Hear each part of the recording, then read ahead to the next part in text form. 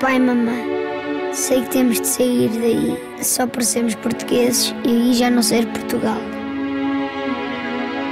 Portugal é muito triste e vai ser sempre assim.